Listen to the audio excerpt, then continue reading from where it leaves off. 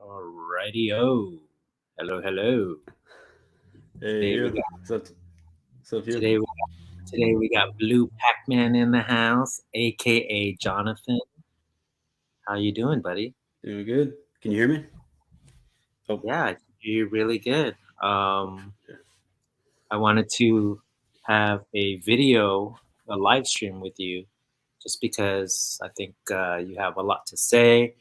You've done uh, a lot of research, made many videos, and uh, all good quality. You've you've uh, done your research. You've looked into things. You've dug into past videos, what's out there on the uh, on, on on the world wide web, and uh, you're able to gather information.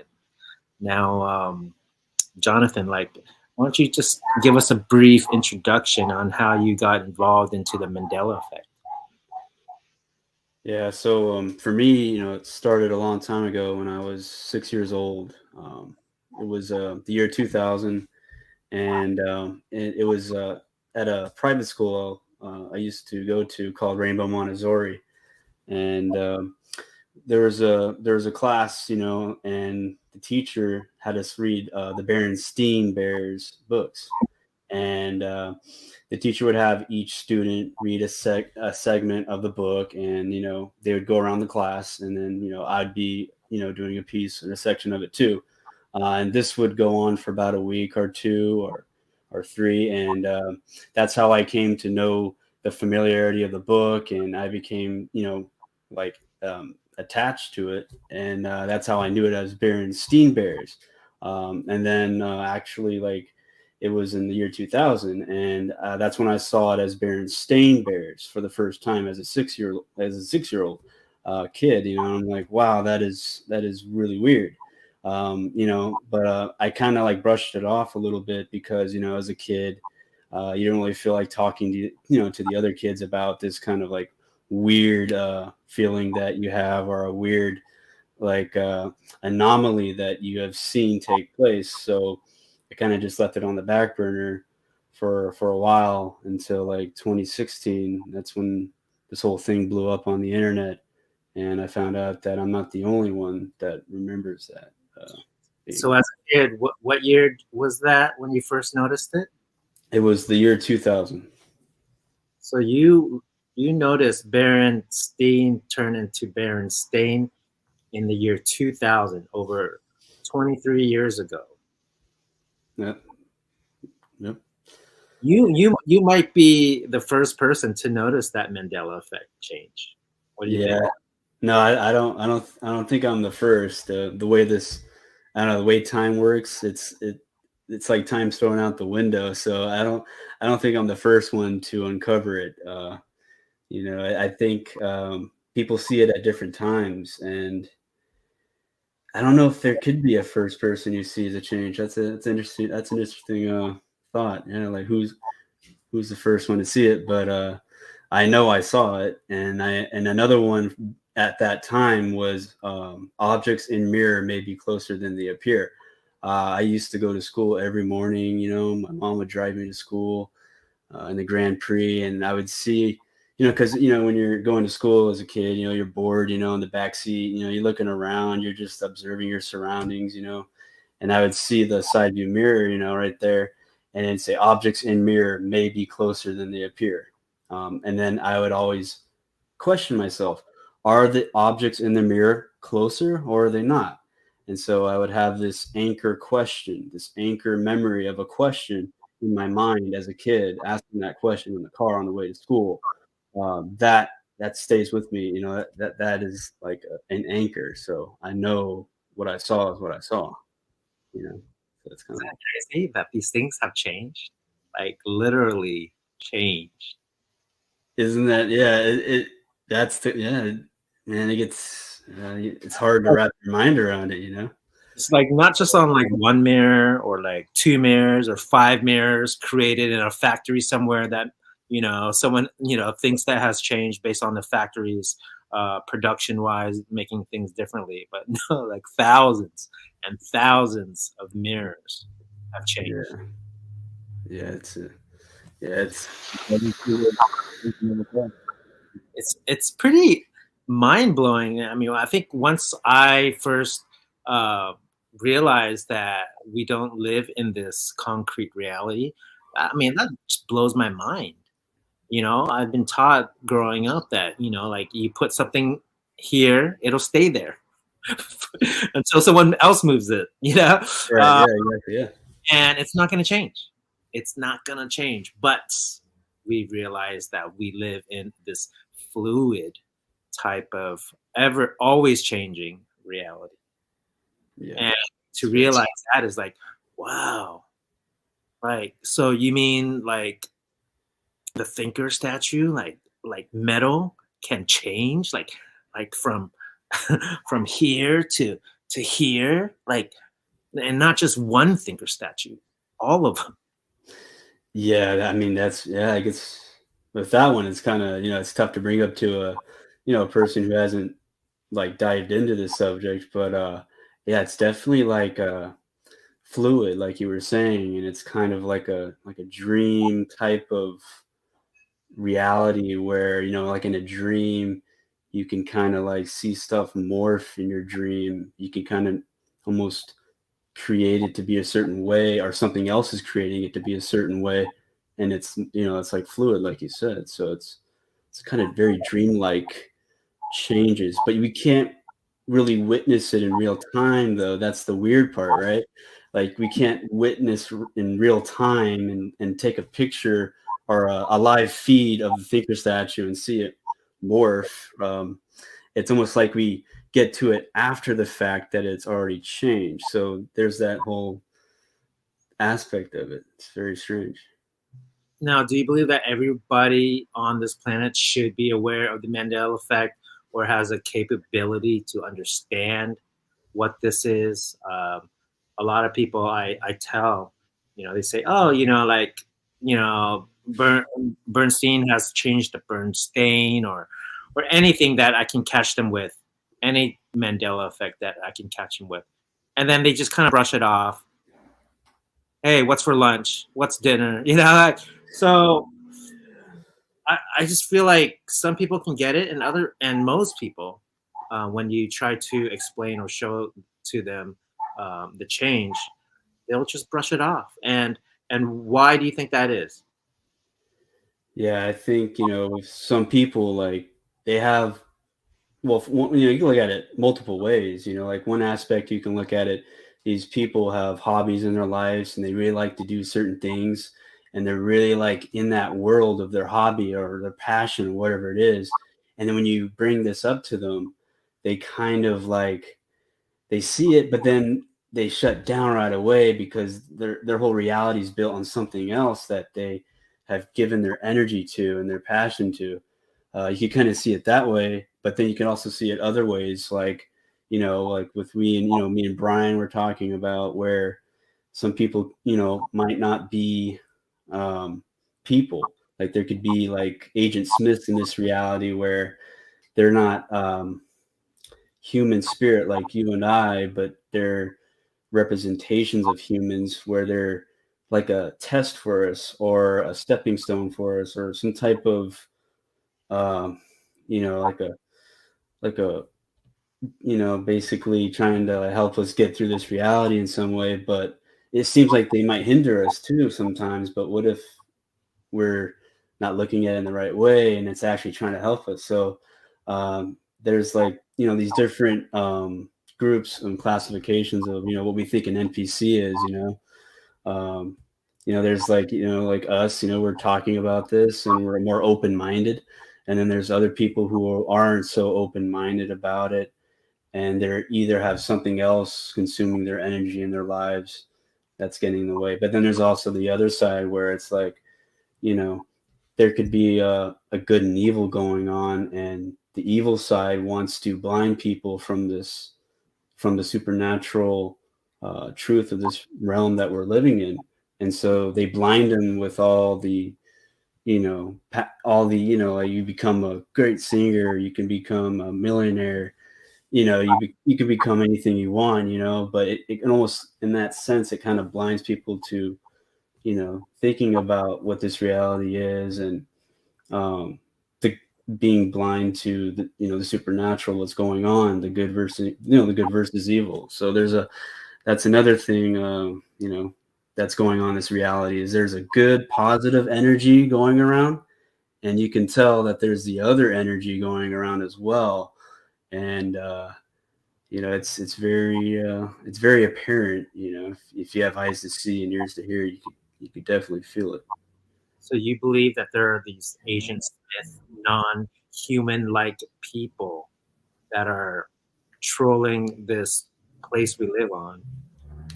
It could be, um, you know, like a like a demonic spirit that is manifesting itself as a human, but is not really a, a human. Like you can't find any uh, birth certificates or whatever. Or if you could find a birth certificate, it'd be counterfeit. It'd all be made up. It would be to cover its tracks, you know. So it's it's very it'd be the theory is it's it's you know it's a very uh, uh, complicated, you know, but it's uh, it's where the the spirit realm manifests itself in the physical, kind of like uh, in some religions like Shintoism, where the spiritual realm and the physical realm are one. So it's it's kind of in those veins a little bit where the spiritual can manifest itself as a physical object, which shows, you know, the fluid nature of this reality too, in, in a sense, uh, just by that respect. But um, but it's all just you know theoretical, you know that that I've been thinking about, you know, the whole NPC theory. Yeah. So based on N- the whole NPC theory, your your conclusion is that uh, these are not human beings; they are uh, demonic spirits that exist on this place. There, yeah, that's the that's the that's one section of the theory um, of like of the whole theory, and so basically you have you know this whole population that we're living on uh, in this stationary plane where you have you know real humans like you and I who were created by the creator, and you have other people that were created by the creator who are the normies who are just you know in the world and they're you know they're starting to understand what's going on with this reality and they're starting to wake up. Some are not waking up. Some are going the other direction. Um, but they're still like you and i they're created by the creator so you, you, that not really an npc but it's like a person who still hasn't woken up yet but what i think an npc is uh, is you know within that same reality you know where we are and where the normies are is this little uh, one third. I don't want to call one third or whatever ratio, but it's a little chunk where there's these NPCs where they're not really like they're not human like you and I, uh, and they could spawn into existence uh, at any point. And I don't know if you ever had that happen to you where it's like uh, this person came out of nowhere. It's like I just checked and looked over my shoulder, there was nobody there, and then like a split second, like a half a second, somebody's there. It's like how did that happen? You know, like where where did that person come from? Is that a real person? You know, so you, you are you know start asking your questions like what's going on here. So that's the the gist of the theory. Hmm. Wow. See, th- this information uh, for you listening, this might be the first time hearing this, and you're saying, "What? These two guys are are saying that uh, uh, our reality is not concrete. Um, it's fluid. It's always changing. Um, metal can change. Uh, metal can form into different things. Um, NPCs out there. There are people that aren't really people, but demonic spirits trying to weigh us down, uh, trying to distract us, or or uh, trying to cover up what this true place is. Now, let's say let's say they are agent smiths right and they want to deny the mandela effect why why would they want to deny the mandela effect why would they want to misdirect you uh, misdirect anybody who's seeking truth um, what's in it for them? Well i think maybe one of the reasons why they would want to hide the mandela effect from the public would be that it brings you closer to the creator. I think it you know, I really think that with the Mandela effect, it's basically showing you that there's more than this physical reality, and that because there's more than this physical reality, you have to open your mind to the possibility that there is a creator and that he is looking down or wherever he is he's he's looking on us and he's uh he's you know he's in you know in control um while you know we still have free will you know and whatnot. But uh, i think what they're trying to do is trying to hide the supernatural but really they're trying to hide god from the people. They're, they're trying to not make it so where they can have that epiphany where like oh wow there is uh there is a supernatural realm there is a spiritual realm there is a spirit realm and god exists in that spirit realm. So they're trying to hide god from people and more importantly they're trying to sever a relation a relationship with god. Um they, they really don't like that. They they don't like ha- people knowing about god and knowing that where we live is not you know like what they tell us what nasa tells us and all that. So they definitely want to hide that truth uh, because they want to keep people stuck in a lie. Um, it's yeah it, it, goes back you know to uh, it's more of uh, point it's more of like a you know biblical prophecy or uh, a bible point of view that kind of view where uh, you know like one third of the angels fell from heaven and they were cast down here into this you know this plane or stationary realm where you know they have their little time to rule and whatnot and they're trying to get people to not see god and not see the truth that um that you know he is real that you know, it's real. Um, they want to keep people in evolution atheism um, insignificance you know they want to keep people down in a low vib- vibrational energy um, and they don't want people to get to that higher vibration that positive energy. They, they don't want that. Now have you always been spiritual and believed in god or um, was it a process for you to get to this point? Um, for me man when i when i started um, having those questions about like if there's a creator or not uh, it was um, it was in you know it was in elementary it was like uh, kindergarten kind of a little bit because i used to be you know i was i was really into art you know and i still am. And uh, i used to draw a lot. I used to um, draw yu-gi-oh cards um, so basically i'd have a yu-gi-oh card here and then i'd be like you know drawing it trying to get it like perfect you know trying to get the detail right. So i try to get as accurate as possible. And so um, how that blended into like thinking, okay, what if there's a creator? Was you know, uh, I'm doing all this artwork, you know, and I'm creating this artwork. I'm a creator creating this artwork. Well, then, uh, if I'm an artwork, who created me? You know, so I had these like questions when I was a kid like that, and that slowly built to the, you know, like, is there a God? You know, and I didn't know what the word God was when I was a kid, or what our creator. I didn't know what the word creator meant. I was just thinking these thoughts like, you know, like what about me? You know, like who who sat down and created me or you or anybody, you know. So I had those thoughts when I was young. Now you um you're really into scripture, uh, Mandela effects, Bible changes. You uh, the the first video I posted in our intro was uh, your video um, with John MacArthur uh, speaking on Isaiah 11:6. And guess what? Uh, in college, I went to that church, that specific church. So that's why it hits home that video for me and why I posted. Yeah. Um, and I was one of them who sat in the pews listening to John MacArthur. I mean, he's very smart. He's very, you know, his Bible knowledge is very exhaustive.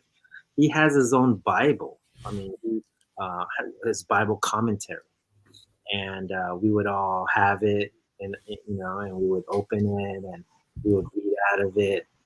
And for somebody so smart, so knowledgeable of the Bible, such as John MacArthur, he is like one of the uh, the the the the biggest leaders in like the the Protestant churches nowadays. Um, him and John Piper, um, a few other ones that uh, that I know of. So if they are mixing that scripture up, not only that one, um, but others as well, Um, do you think they're hiding it? Do you think they know? Do you think they're just they just take the update and they just I mean they're really smart. Yeah. They, yeah. so, yeah. I'm, I'm, confused. Like, uh, what is the what is their excuse or their what is their reason on on on saying I um the lion shall dwell with the lamb? You know, when it's yeah. not. So, what are your thoughts on that? Yeah, I, I don't I don't think they know. Um, I don't think anybody has like uh, brought it to their awareness yet. Um, you know, I think uh, if someone were to bring it to their awareness, that'd be interesting to see what would happen. I don't want to like you know, um, you know, say what would happen, but uh, um, I noticed, you know, um, just through generally, I noticed, you know, a lot of the pastors don't seem to uh, take kindly to the Mandela effect. They seem to uh, almost shut down and they revert to you know like the word can't change and whatnot so they're really holding on to the physical word um, as their source of truth. And i think with the mandela effect through the creator it's showing that you don't really need uh, to focus your you know on a physical book that you should focus more on the spiritual word which is the creator you know which is you know the word the word of god capital w. Um, but they're so focused on the lowercase w word of God, the lowercase w being the book.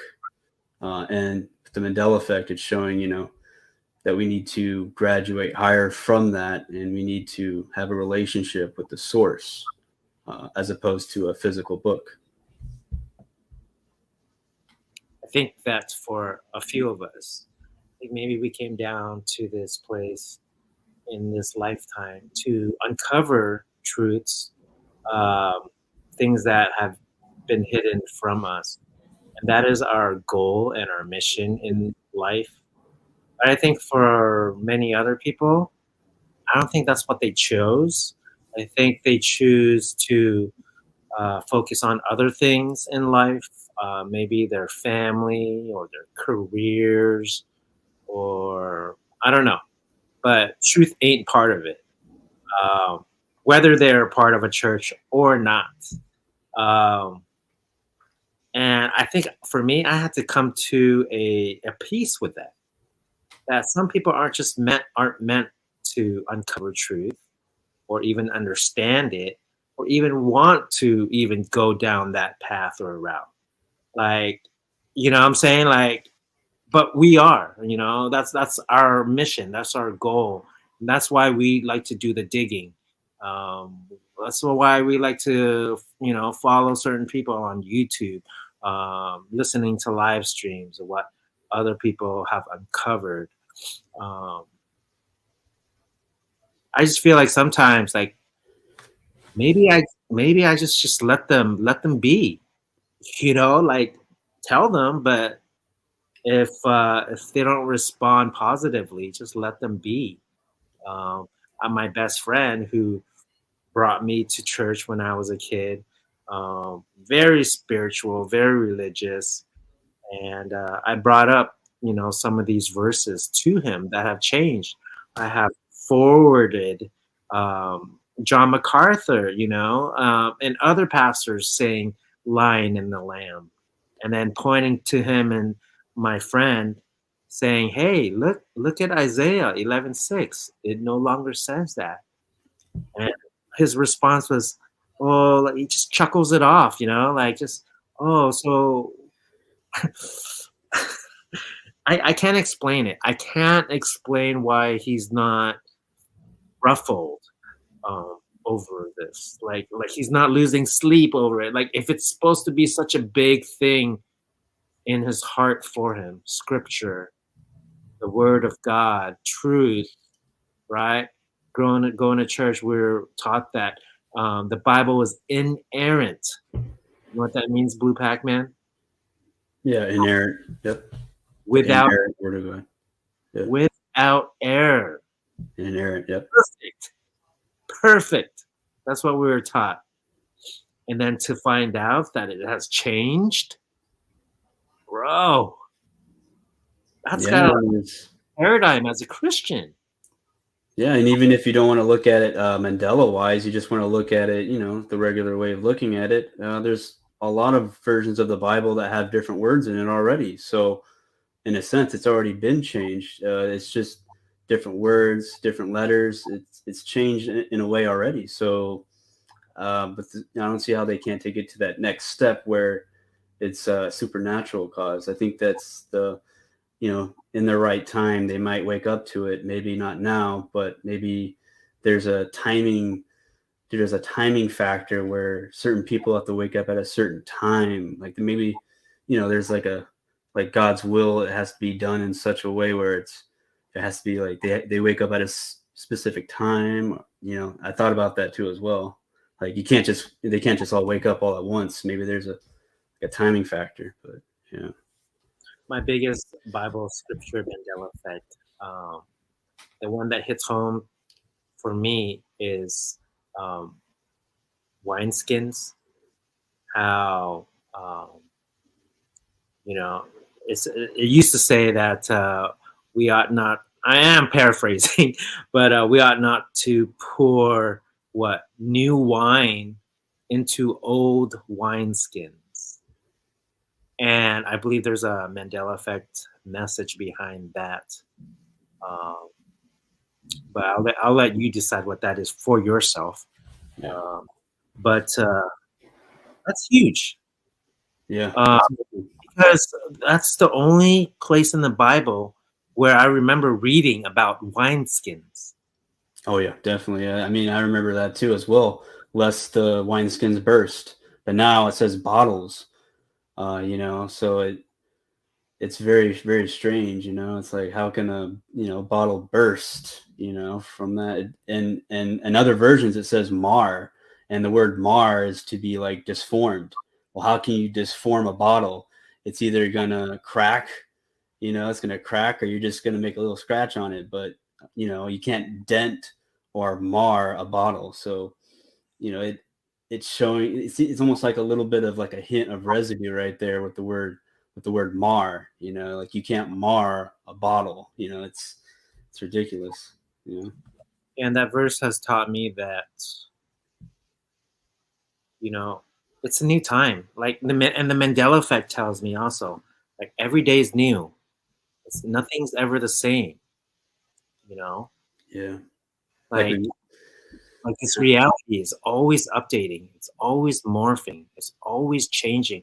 Therefore, I can't have the same mentality or beliefs that I did a year ago. I shouldn't. And that's what the verse, uh, you know, with the wineskins has taught me.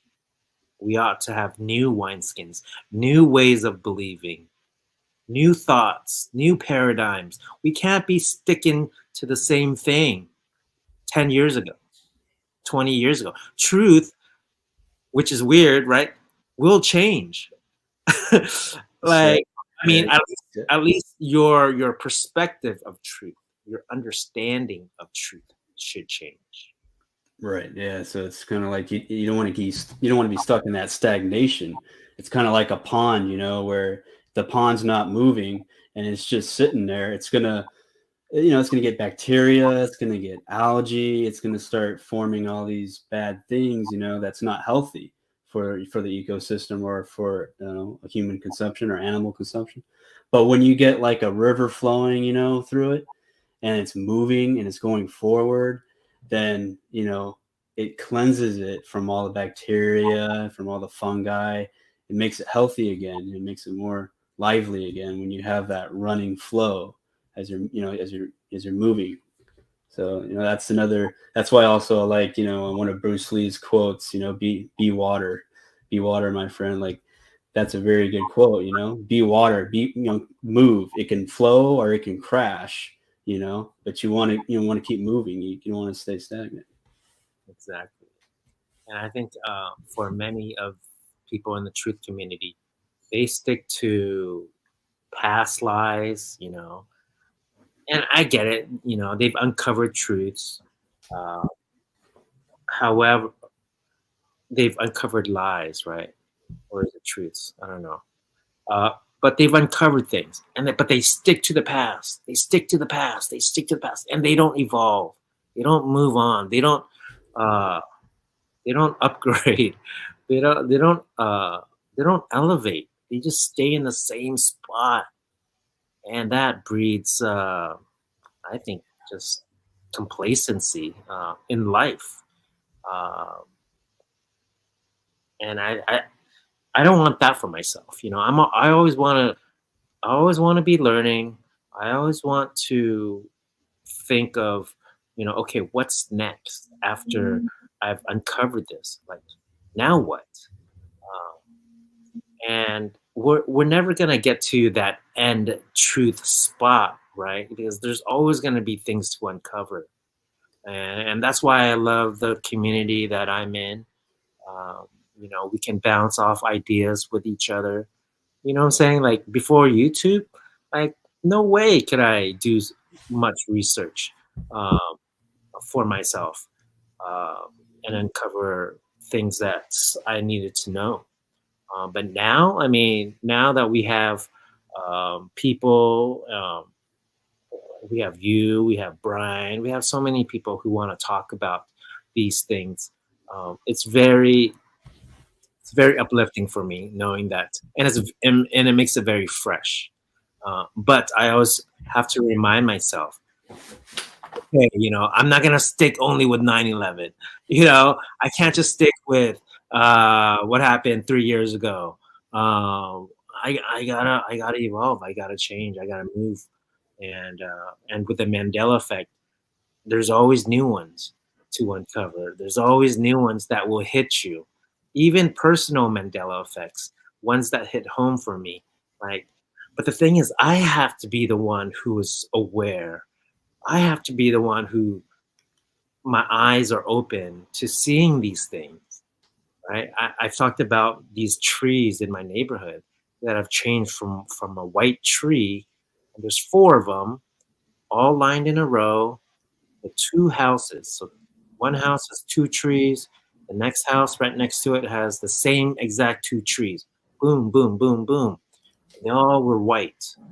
These are grown adult trees, not like little ones that are growing up. They've, they've always they've been adult trees. And I would walk around my neighborhood every day. And the highlight of my walk were seeing these four beautiful trees that were white. And all of a sudden, one day, I walk, they're not white anymore. They're green. Like the white just went away. Wow. I could, be, I could be wrong. Maybe it's a seasonal thing of the tree, you know, uh, and maybe next year the white will appear again. But it was very drastic. It was like, like the whole four trees were completely white all over, like completely. And then I don't know, a week later, it's not like oh half of them were white and half of them were green. You know what I'm saying? It was like all green. and, I'm, weird, yeah. And then I look at, at the on the ground, right? And I'm like, okay, maybe they all fell on the ground and it's all white on the ground. No white on the ground whatsoever. no trace of white. No trace of white. So I don't know. I don't know. I can't explain it. But uh, that just tells me that hey, there, there's more to uncover. Don't just be satisfied with what you already know. Try to be open minded. Try to open your eyes more to different things. Take a different route. Um, you know what I'm saying? Like instead of uh, going this way, go that way. Uh, be more observant. I, and I think that will really, uh, I don't know, maybe open up your eyes to different things. What, what do you think? Yeah, no, that's interesting with the uh, with the trees changing color. Um, I mean, it's almost like you went to bed and then you woke up the next day, and it's like, so it's almost like, you know, is is it like did you wake up, you know, in a different reality? Did you wake up in a different dimension, a different universe, like a different timeline? It's, it, you know, uh, Lost Geographic, uh, Enrique, he talks about how uh, we shift into like different realities that are unseen, that are hidden within. Um, and he he thinks that maybe sometimes when we go to bed and we dream, you know we wake up we're actually like waking up in a different uh like a different reality a different dimension where those trees are now a different color or they're are they're missing you know? There's to be a certain amount of palm trees here and then next morning there's a little bit less and then a little bit less and less um, or maybe there's a drastic change where a huge chunk of palm trees is missing. So there could be like a like a change where you go and jump to a different dimension where it's like a completely different. But you know th- that's an interesting theory though you know with the whole multiple dimension theory it's like you know like how do you explain the residue being in this same dimension that you shifted to, but it not being back in the previous dimension where you just shifted from. So it's like if the residue is there, how did it get here from where you shifted? It's you know, that's what I've been trying to like, you know, figure out like how is that possible? You know, the residue, how it exists if we're shifting. Or maybe maybe it's a vibrational thing where we're in we we get into different vibrations um, throughout life and uh, we don't we don't really jump into different dimensions uh, when we change our vibration uh, because we're maybe we're in the same soup however our va- vibration is different. Therefore our this place that we live will be different. And part of how the mandela effect works is that it will cover up or add new, you know, um, things into this reality to adjust maybe to this new frequency that you're on.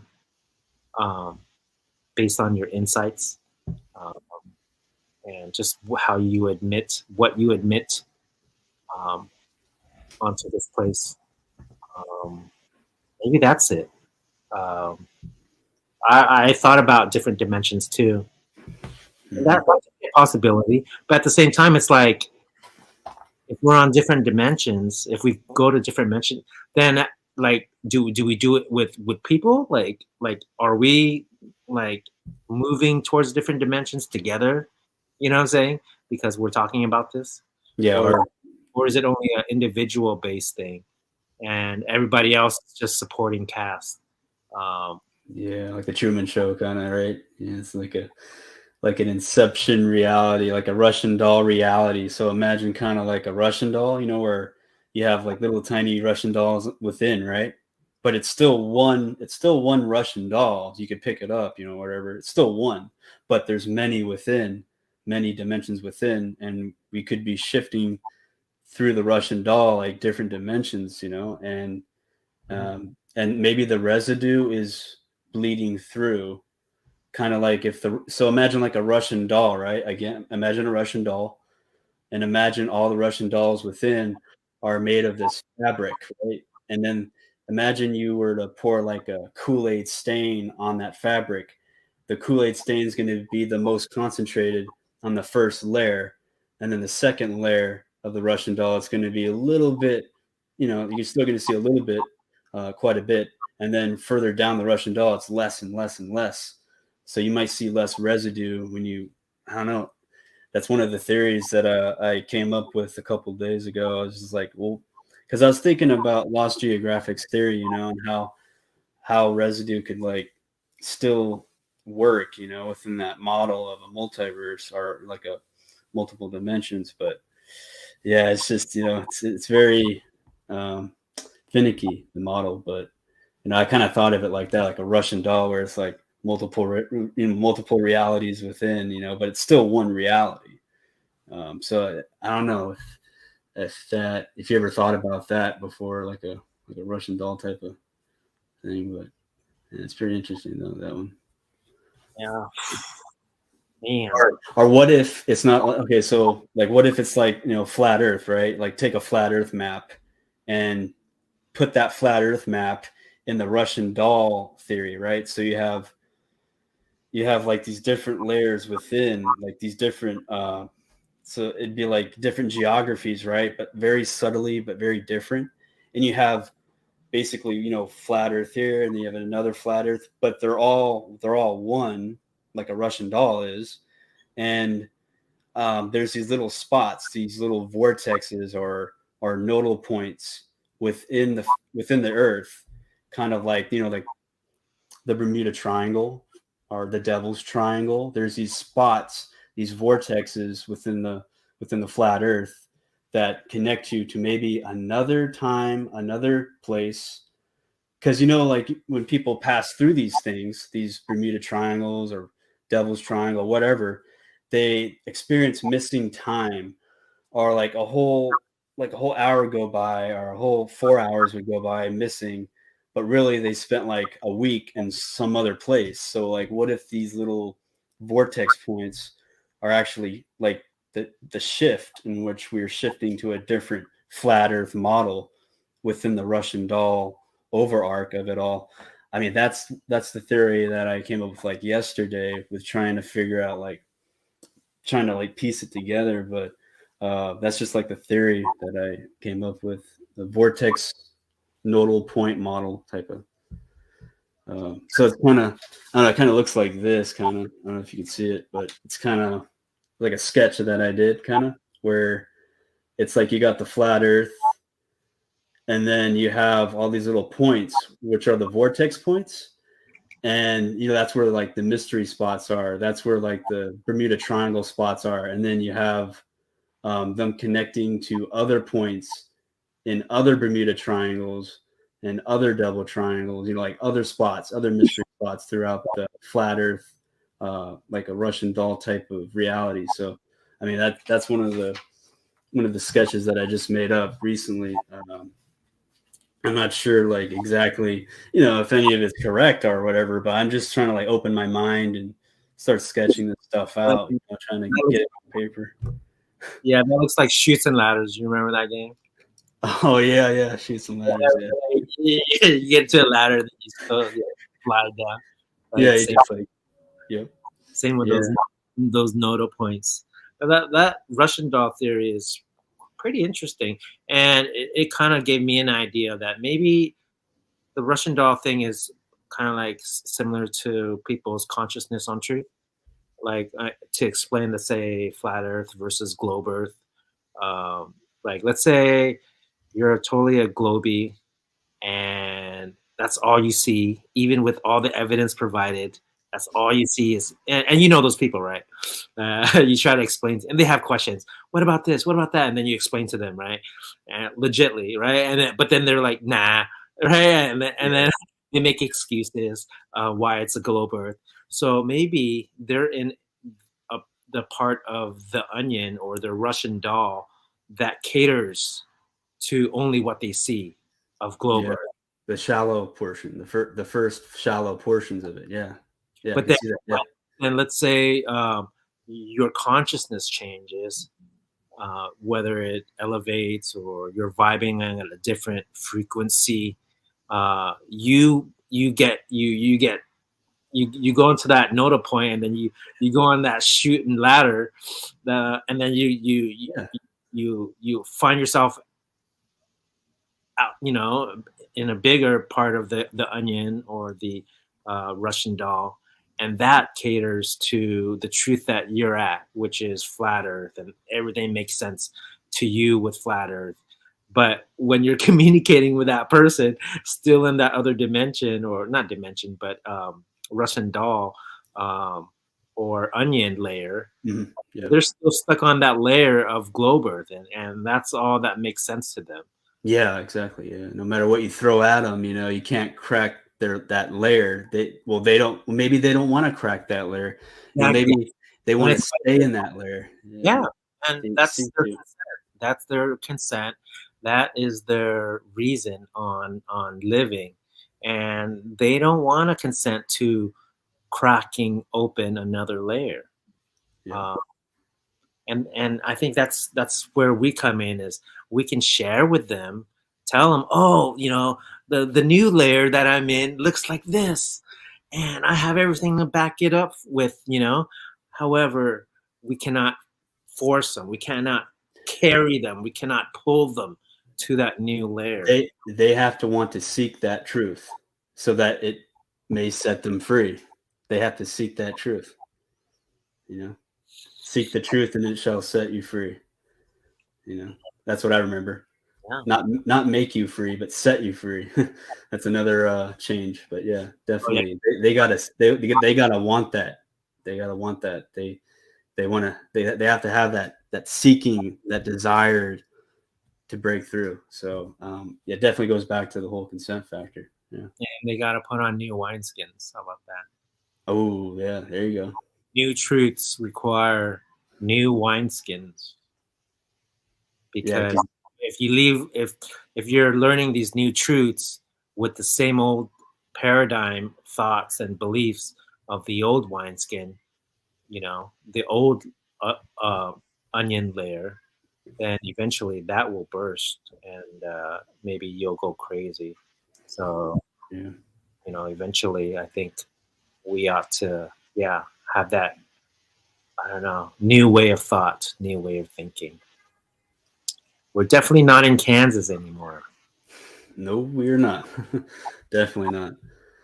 So uh, we met at um, Brian Staveley's uh, meetup uh, in Huntington Beach. I see you have a hat there.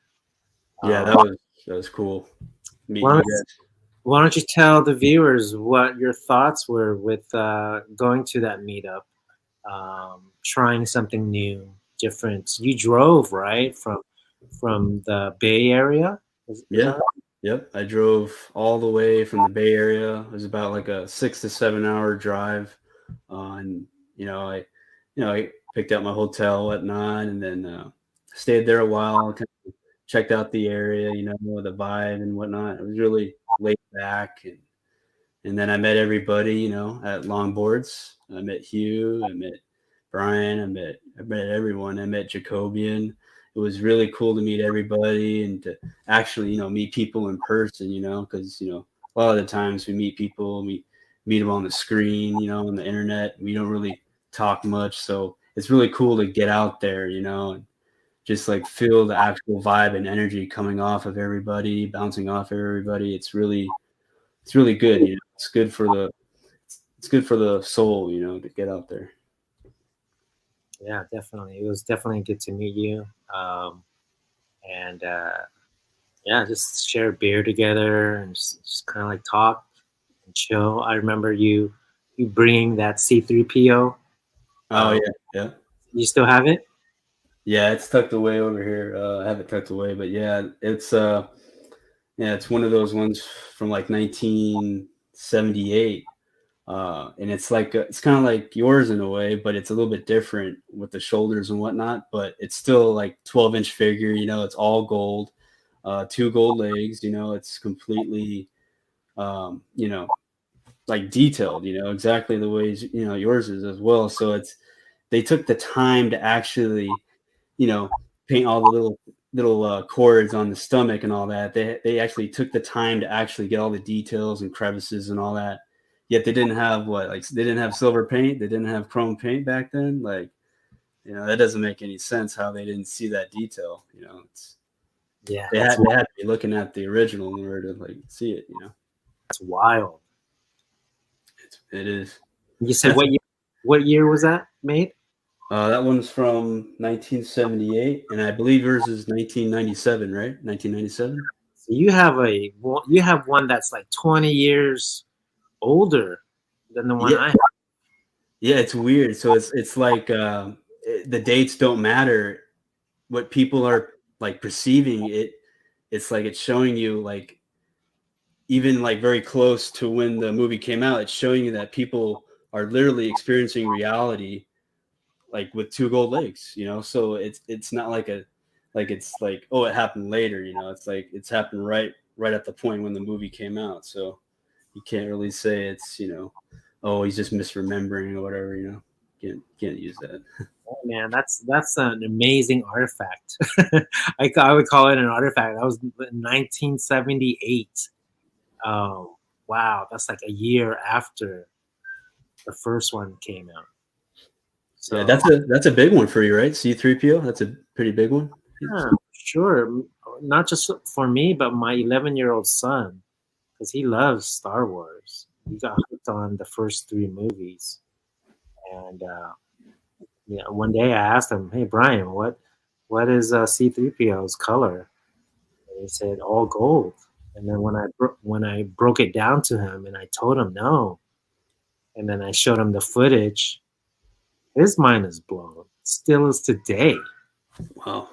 And um, and that's why it hits home not only for me but my son. Like that's how he got in, into the Mandela. He would always tell me, "Dad, are there other Mandela effects now? Like, what are what are the new ones that, that have come out?" He's he's his mind is blown too, you know. And then whenever I ask anybody anybody else what color C3PO is, they would say all gold. No one says silver. Nobody. I mean, I haven't met anybody that I have not met anybody that remembers it all all silver. No way. No. I've not met one. Just like mirror mirror on the wall. You know, I haven't met anybody that remembers it as magic mirror on the wall. And, you know, same with a scary movie. You know, I see white people. I have not met anybody that says that they remember I see dead people as it as it always was. It's always been I see white people, but the the line I see white people is completely gone from the movie. And yeah. you know, I, you I got, when he do you remember I wonder if it, it's the same scene that he said it now and before. Like do you remember where he he was and and um like tell tell me where was he when he said that? Well, you know, you watch the movie now, he's pretty much in the same spot. It's just that the the words have changed from I see white people to I see dead people. So it's it's changed from something that was really funny to now something that's just a copy of the of the Sixth Sense. So it's not as funny as it once was. It didn't have that same. It doesn't have that same energy. It doesn't have the same energy as it once was. So not only do we notice the change, but we notice the energy as well has changed. Uh, that's an, I think that's another important aspect because you know I, sh- I shared a picture of you with uh, with McDonald's. You know how it looked like back in the day and how McDonald's looks like now. Like McDonald's now, McDonald's now looks like a laboratory or a or a penitentiary. You know, you walk in there and everything's all sterile and everything's all bland, colorless. But back in the day when we were kids, McDonald's was like the place to go. You know, like we would see kids there, uh, uh families would get together, kids would play together. You know, on the playground. But now they they took all the playgrounds out, so it's like that whole energy that was once there they, they took that out and so it's like we didn't we didn't want that we didn't consent to that reality. We didn't want that reality but that reality happened to us and it's like i want that other reality back you know? I want that you know what? um, these wineskins, wineskins we gotta we gotta adjust. We, we can't be like oh i want the old wineskin we're in a new place. Yeah. we're definitely in a new place and that's the hard part right? Is switching the wineskins to new like like we don't have to like it, but we have to accept it. And uh, like it's not like we can go back and be like, hey, you know, I want the old McDonald's back. No, we get, yeah. we got like, hey, this is this is how it is now, and let's accept it and move on. Like, but it's it is it is kind of sad, right? When things right. for the worst. yeah, exactly. but uh but with the I see white people, so I was in uh, Florida on a trip to go, you know, see my sister and whatnot, and you know, her uh, her husband's kind of like kind of really hard set. You know, Mandela effects. You know, it's not real. You know, it's he's very skeptical of the Mandela effect. Let's just say that. So I was throwing a lot of stuff at him. I was throwing mirror, mirror on the wall at him. You know, I was throwing uh, the Monopoly guy in the monocle. You know, I throw that at him. And you know, he kind of remembers some stuff, but he would always just kind of be like, "Well, it's a different version of the movie." Oh well, you know, people just mix it up with the Mister, you know, Peanut guy or whatever. But I kind of like sensed his energy. I'm like, well, what should I get him with? And then I thought of I see white people. So, uh, you know, I asked him, I, ha- I had him fill in the blank. Like, what do you remember Marlon Wayans saying in the movie Scary Movie? Um, I see blank people and then he filled it in as white. You know, he remembers I see white people. So he's really like skeptical, very, very, very skeptical of the Mandela effect. But I got him with that, with that particular one. Uh, and then he started like, well, he started. Uh, he didn't. From then on, he he couldn't really figure it out because I told him that, you know, if you check the deleted scenes, if you check all of the cameos, if you check all of the commercials that came out, all of the teaser trailers, none of them have Marlon Wayans saying, I see white people. It's completely gone from this reality, this existence, whatever you want to call it. It's completely gone. But he has a dead set memory that it was I see white people. Um, he couldn't explain that one away um, that night. so so now he's probably you know it might have planted a little seed. You know, you, you never know. It's it's so easy to get people right. It's so easy to find one Mandela effect. All it takes is one. Yep. You know, and whether they become a believer or not, all it takes is one to like throw that seed into their mind. Yeah. I mean, if it's something they're the, that... they're the ones who give you the answer. You, you don't you don't give them a multiple choice. No, no. Fill it in.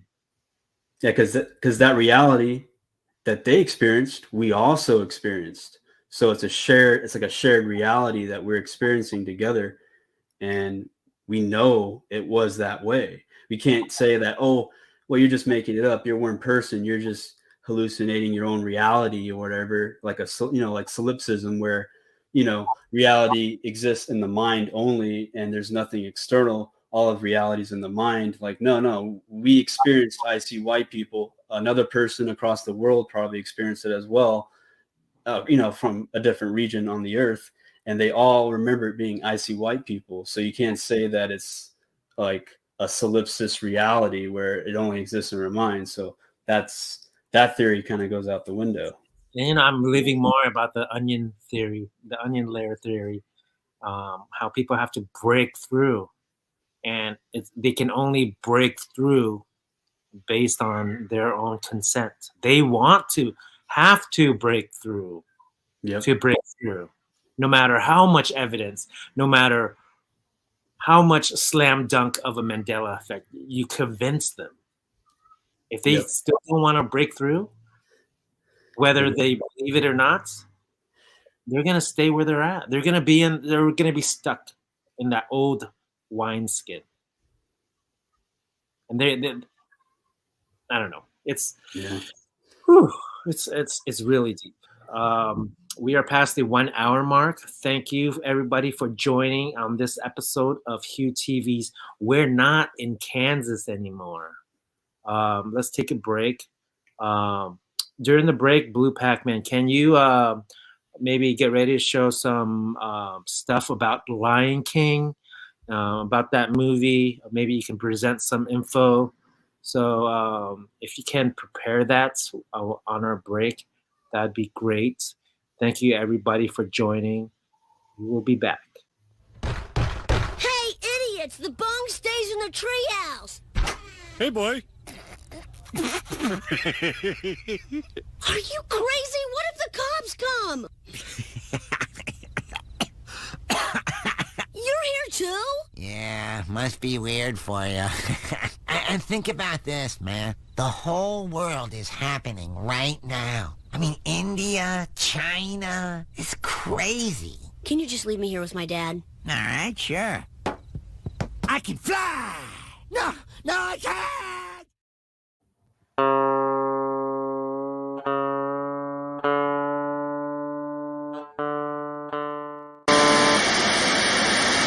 We are concerned about troubling trend of irresponsible, one-sided news stories plaguing our country. Plaguing our country. The sharing of biased and false news has become all too common on social media. More alarming, some media outlets publish these same fake stories without checking facts first. The sharing of biased and false, false news has, has become, become all too common on, on social, social media. media. More alarming, some media outlets publish these stories simply aren't true without checking facts first. Unfortunately, some members of the media use their platforms to push their own personal bias and agenda to control exactly what people think. And this, this is extremely dangerous to our democracy. This is extremely dangerous to our democracy.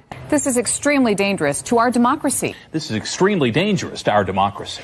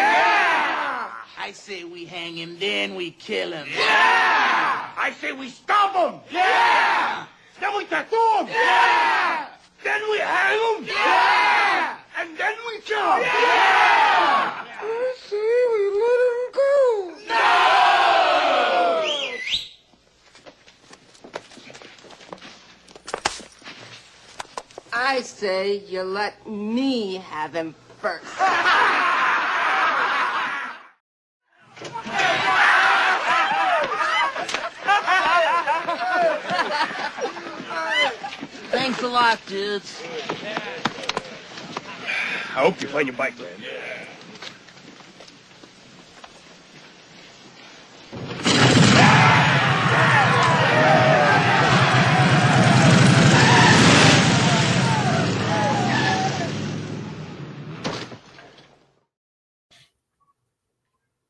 Alrighty.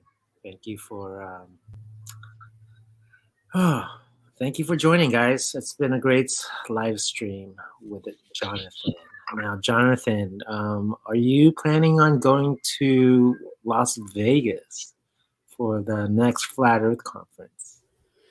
Yeah, I'm, I'm really uh, I'm thinking about going out there to meet everybody. Um, I got to see how some things go first, but I'm really I'm my my whole plan is that yeah I'm as of now I'm I'm definitely gonna go check it out for sure. Yeah. Now, what would you say to someone who's maybe on the fence like me uh, like, why should they go? Well, I mean, well, because they got to drive or fly. They got to get the hotel. It's not cheap, so uh, there's definitely a cost to it. Um, why, why, why, why, why do it? I mean, what, what are they going to get out of it? I think you know, you know, it's it's really good that we that we you know come out and meet each other and share our ideas and our viewpoints and just kind of like feed off our feed off our own energies and just like I don't know, it's more of a place to go where everybody's positive and everybody's sharing that same frequency and that same vibration. And when you and, and when your vibrations like coalesce with one another, it um it does something to the soul. It's almost like, you know, when you go on a nature walk or a hike and you get to the top of the mountain and you just like breathe the fresh air in, it's like you're you're connecting with like the source, you know. It's the same type of connection, you know, that you get when you're at these places, you know. It's the same type of vibe and vibration. You get a, like a high almost, you know. You're not getting high high, but you're getting like a a very healthy, natural high, a very It's positive high. It's definitely a high. Yeah. um, because you're around the people, you know, you're around the people that are vibing at a certain And frequency. you know, yeah, and you might you might know something that you didn't know. Um, like for you know, like you might come across people who have different theories about what this reality could be, whether it's Mandela effect or whether it's flat Earth, uh, whatever. You know, you might meet somebody that you never you never knew this particular subject matter before. You know, it it might help you get one step closer to figuring out like what this place is, or it might it just might help to heal your soul. Like you might not be trying to like figure out what this place is, but you just want to be there with people and you just want to connect with people and feel like you're in a family, you know, like like you feel like you belong, you know, like there's people that think like you and there's people that are vibing on the same frequency as you and if it's a family frequency, you know. You could say. Yeah, I think a big- yeah, big part of meeting in person is not feeling alone. Uh, uh, we all have been there, right? Feeling like, you know, I know all of this. and I want to share it to everybody, but no one's listening, and I feel alone, and like so alone, so alone. And uh, I get it. Uh, the people, I mean, even our family members, a lot of them won't even listen to us but we still have to maintain that relationship. Um, but at the same time, it makes us feel alone. It makes us feel isolated. That's not what we want to be. We want to feel like we are part of a community, part of something. Um, and uh, I recommend. it's funny. I recommend people going to meetups. Uh, not every meetup's going to be good for you, right? Uh, so you have to determine what's going to be good for you and what's not.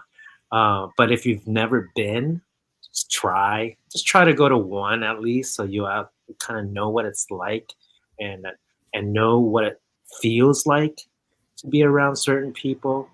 And of course, you're not going to vibe with everybody there. That's impossible. But uh, you'll you'll eventually make your own clique, your own. Uh, you know circle of friends uh, you know if i go i'm not going to be like all over the place talking to everybody certain people i don't i don't i don't i don't connect with and that's okay but uh, you know I'll, I'll stick in my corner of uh, the of the the place and uh, we'll have fun doing that so i'm still debating i'm still battling whether i'm going to go or not it is uh, on the West Coast this year. So that's kind of special, right? First time the Flat Earth event is on the West Coast. Um, now, Jonathan, uh, when when uh, did you first find out about flat Earth? Uh, when did you first become a believer? And was that uh, did that uh, you along to Mandela effect, or was Mandela effect first, or what, did it all happen at the same time? Um, Yeah. So, um, you know, like when I was six years old, that's when I first had my first encounter with the Mandela effect. So I guess you could kind of technically say the Mandela effect. But um, when I first came to flat Earth and I was become aware of, you know, of the seeking the truth and whatnot, I uh, was 2013 when I started getting into flat Earth. But what got me to seeking flat Earth, uh, I used to play a video game called Minecraft. I'm not sure if you heard about it, Minecraft. Uh, I'm not sure. I think Brian might know. Uh, your son might know about it, but uh, I used to play that a lot. And in Minecraft, uh, you build stuff out of blocks, and you could fight monsters. You know, you could go on quests. You can uh, build a house out in the woods in the game. You know, and all that. And uh, I used to create like uh, like mega build creations and whatnot, and uh, I, I used to use the game more of like an artistic uh, expression. Um, that I used to make videos on my channel a long time ago.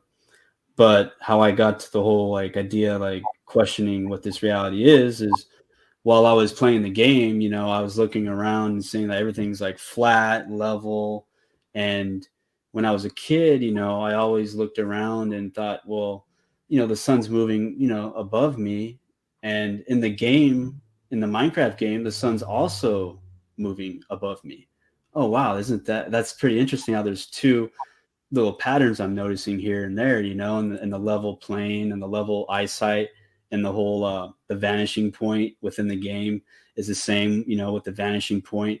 If you look at a railroad track, you know how it goes, and then you know you can't see any more railroad track because that's that's the vanishing point where the horizon line is. Um, we learned that also um, in art class about the the vanishing point and two point perspective and all that. So um, in the game, it's two point perspective. So I started connecting these points to my experience of reality and me playing the game. And that eventually led me down researching and looking on YouTube about, you know, what this place is. And, you know, I went down all the, uh, you know, rabbit holes that people go down to when they, you know, look through flat earth on YouTube. And, um, but it was the, the video game Minecraft that kind of opened the door to me like questioning, like, you know, like this place is pretty level and it, it doesn't seem round and spinny you know so i started going down that route in 2013 2014 um, and then from 2014 to 2015 that's when it kind of slowly switched over to mandela effect you know blowing up on the internet uh, which is kind of weird because people were using the word mandela effect in like 2012 like i had a student uh, like one of my classmates from high school came in the store that I work at, and he's like, I asked him like, when did you first hear about the word Mandela effect? And he said, oh, it was uh, the teacher in my economics class was talking about it in 2012. I'm like, wait a minute, what? In 2012? So like, I guess the term blew up in like 2010, 2009 or whatever, but I never really heard of the term at all until 2016, which I found kind of weird. Um, but yeah, with flat Earth, um, I definitely went down all all the you know routes with the uh, laser experiment over over the lake, and how the laser was basically showing that the whole level surface of the lake remained parallel with the laser beam, and you know that really helped me to you know uh, really understand that the mathematics that they show us about a round curve doesn't add up at all and of course you know we can see too far with the uh, the you know the telescope and whatnot. We could bring back the boat you know. It's not that we have you know magical binoculars but we could actually use these tools these cameras and actually prove that this earth isn't curved like they're telling us that it is. And so you know i was i was going down all those routes and uh, uh, that's how flat earth you know kind of came to me and then of course you know i i was looking at a lot of people at the time. It's it's been so long, you know, but I'm I'm pretty sure, you know, I came up a lot of globe. Uh, I checked out a lot of Globebuster videos and Bob Knodel. They were doing a lot of good work back then, and uh, of course, I went down some bad routes as well. You know, um, just because I was open minded, you know, I went down the whole, you know, Stephen Christ or whatever his name is, you know, and all that, the whole convex Earth theory, you know. So I mean, I I was open minded, but I I, I uh, quickly went the other direction in some cases because you could easily spot when uh, there's like you know, some false information going about, so you, you could sense that energy. So, you know, I I went back and forth uh, with other creators and. You know it's very important you know knowing that this place you know what they what they tell us doesn't add up with what we experience um, in reality. So if that's a very key factor you know if it doesn't line up with what you're experiencing you know like you can see the sky and the sun and the moon move over but they're telling you, you know, that this, the moon's moving and all, you know, and and the uh, the Earth is spinning in all these directions, which doesn't make sense, you know, with the flight routes and all that. The the spin of the Earth, if it's going one direction, and let's say you're gonna fly from Florida all the way to LA, well, if the Earth is spinning this way, and my plane's going that way, I should be there in no time. But when you look at it, the time zone, the time from here to there, from here to there is exactly the same. So why is that? It shouldn't be the same, but it is the same. The time flights are the same to and fro from LA to Florida, from Florida to LA. They're exactly the same time flights. So that doesn't work if it's a globe and you're spinning and you're cutting through that spin. So that was a huge one that I learned from uh, Brian Staveley. So shout out to Brian Staveley for that. That's a, you know, I learned that from him, but he probably learned it from somebody else, you know. And so shout out to whoever that was, you know. Uh, it's really, really good. All these responses, they always say, "Well, it, it's all contained in the same atmosphere, so every everything's spinning together." No, yeah, no. Yeah, because then how how how is how is the plane gonna like glitch out? It, it, it, just doesn't work if if if you were to say that. It just how is the plane gonna like do this motion? Like it's it's gonna like what spaz out? Like that doesn't make any sense, you know. Or is the plane just gonna you know like just hover and wait for the destination? Like no, the plane flies, you know, it moves. So yeah, it's it's very interesting. Yeah, the biggest uh, slam dunk for me in terms of flat Earth is uh, just us being to be able to see way too far. Um, the binocular thing, you know, pulling things up and then with the binocular. I mean, if it was if it went under the edge, no matter how great a binocular you have, you're not going to be able to pull it up above the edge. You know what I'm saying? It's good. The, the edge is going to always block what you're wanting to see, right? If it goes exactly. underneath, underneath it, right? Yeah. Um, but because you can pull it in with a binocular, it just tells me like, hey, there's nothing's going underneath the curve. Exactly. Yeah. yeah.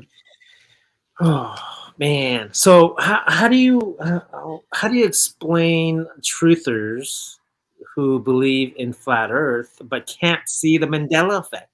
Like that just blows my mind.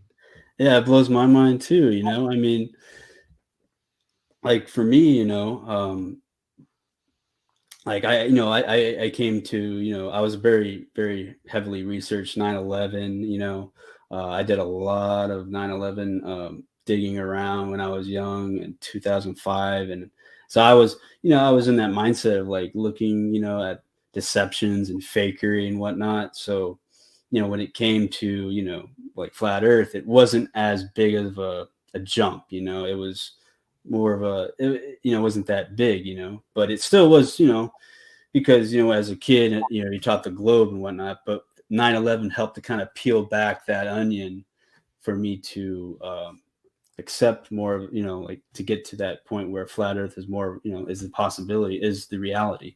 So, you know, it's hard how some people who are flat earthers, they just can't see the Mandela effect. You know, it's it's very mind-boggling how you can be open-minded to this theory, you could be open-minded to that theory, um, you could be open-minded to the, these facts or those facts, but you can't be open-minded and and actually take a look at what could be causing, you know, the Mandela effect, or what is the Mandela effect, or why do you remember it the way we do?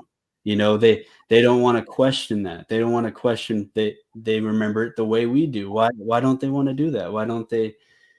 It's just really very mind-boggling how they can be open-minded to a to a degree, but they they can't take that extra step, that extra step, that extra leap. You know, it's like it's that you- yeah. extra layer that they got to break through. That extra outside Russian doll. You know what I'm saying? Like they got to Yeah. break through, but they they won't.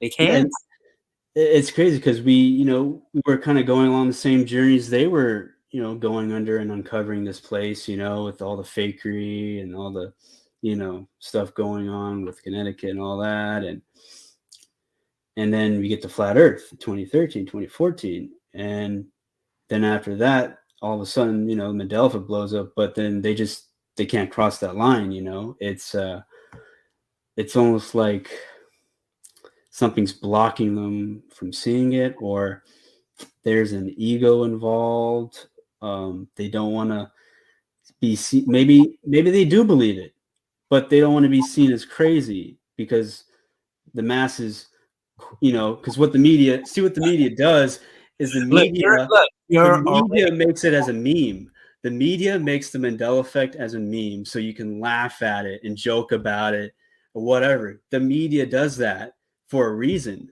it, it- see it does that for a reason so that anybody who talks about the mandela effect is just a jokester You're already a just, you know, flat earther. You're Yeah. already a flat earther. So come on. Like, exactly yeah. How much more embarrassed do you uh, are? Are you so sensitive? I mean, being a flat earther, first of all, I mean, it's not. Uh, you're not going to be uh, lauded as someone uh, intellectual or or smart. So you're already in that camp. So yeah it's not that hard to just step into the Mandela effect pool. Understand that this reality is fluid. It's okay. You don't have to be afraid. Yeah, so uh, like you know, a lot of the flat earthers will look, you know, what the media is doing, whatever, and they they might not know it, but they're actually being programmed to think that the Mandela effect is just some funny little gag, some funny little meme on the internet, and then they don't really look into it at all. After that, they just shut down and be like, oh, it's just some meme, some little memory game, because that's that's what the media does. It minimalizes the supernatural. It minimalizes it so that it can hide it. And if it can hide it, it can get people to not even look at it and go down that rabbit hole. To, you know, actually open their mind to that possibility. So uh, that's a that's a tactic. It's a warfare, psychological warfare tactic on not just the normies, but also the people who are in the truth movement looking at flat Earth and other truths. Look, It's, uh, it's pretty deep. If you're on the border of Mandela effect or not, my suggestion is be open minded. If one gets you, then you're Mandela affected. It's not a big deal. And it's freeing. It's freeing to know that we're not stuck in this physical world, that we are spiritual beings. We go beyond the physical. And that should give you hope. That should give you uh, it should give you a lot of hope that just because things are the way they are now doesn't mean that they're going to be like this tomorrow or next month or next year. Things can always improve. Things can always get better no matter how shitty this reality spits itself out there with the shitty versions of the Mandela effects, it can always it can always be good as well. You know, your relationships can miraculously improve for the better. A person that maybe you had a hard time with in your past with the Mandela effect, it shows me that these people can change overnight. It also tells me that even you, maybe you have a hard heart. Maybe you can change overnight. That gives me hope. And yes, Julio and Sue, we are live. Sorry, uh, we, we've been uh, ignoring the comment section. We do see you, but uh, it's just hard to read both comment section and be involved and engaging with the topic involved. But we do uh, are appreciative of everyone who's here. Um, Shout out to everybody in the chat. Yeah, can you do a shout out um, real quick? Yeah, I'll do a shout out. All right. So, so here in the chat, we have uh, Mr. Super Sidewinder. And we have Sue Finelli. Shout out to Sue Finelli. We have Three Fingers. Let's see. We have Carrie Skates. Up, Carrie Skates? Um, let's see. We have uh, Call for Zero. Call for Zero's in the chat. Up, Call? And we have Boston Ray Mudflood. What's up, Ray? Yeah, Ray Ray's been doing a lot of live streams lately. Uh, a lot of late night live streams on Ray's channel. Go check it out, guys, on Ray's channel. He's got a lot of good stuff. Uh, we got S. Lee in the house. We got Julio Lua. I'm not sure. Julie Julio Lua. Yeah. And see, we have commercial sound and video. Shout out to commercial sound. And we have Brian S. Staveley in the chat. What's up, Brian? Putting out some good live streams lately. Uh, we have Overprotected 1111. Shout out to Overprotected. Uh, she she watches some of my videos. Uh, one of the big ones for her is the uh, Lizzie McGuire and the uh, Britney Spears missing Mike. That's one of her uh, big ones. Let's see. We have a random fan. Let's see. Yep, that's pretty much everyone here. So with the Britney Spears one, Yeah, that that one uh, for overprotected. That's a big one for her. Uh, that one, that one's a big one for me too. You know, I remember her wearing that black mic in the in the music video. It's so crazy because now when you watch it, it's completely gone, doesn't exist. Yet we have some like yeah, some pretty interesting residue that shows that she did wear that uh, mic in that video. Uh, there's one like Lizzie McGuire episode where um, there's like this little cut scene in the show, and she has the head mic on. It's like, how can that possibly be? You know, it's never been in the music video. So uh, it's like it's really crazy just to see no mic. You know, it's just like wow, it's gone. It's like like even look at the yeah, you can see like the empty space over, you know, to her face where there's an empty space. It's like why would they shoot that big picture with empty space if there wasn't no like mic? You know, it's like it's missing. what's Just- crazy about the videos? Sometimes she'll she'll t- try to touch it, right? Yeah, yeah. She would kind of like touch it to try to adjust it, and then she'll kind of shy away because she's trying to adjust the mic to fit right. You know, it's it's so weird. Why she got a mic? Exactly right. Why she got a mic? Exactly, dude. That's crazy. That's oops, I did it again. I played with your heart. I'm not I gonna say it, but it's ridiculous. It, she does look better with a mic. You know, it's kind of like the whole Bobby Brown "My Prerogative" thing, right? That's what she was trying to do. Yeah. You know Yeah, I how mean- Brown had the mic in his music video. Yep. Other other Halloween costumes for like the "Hit Me Baby One More Time." You know, all those uh, Halloween uh, outfits don't have a mic, but specifically this one does because it had the video. It, in the video, it had it, so it's like very specific with that That's video. so funny. The Mandela effect will like just like erase it from a video that Yeah, have that has been seen millions and millions of times. Yeah. That's nuts. Now, um, can you share a little bit about your Lion King experience?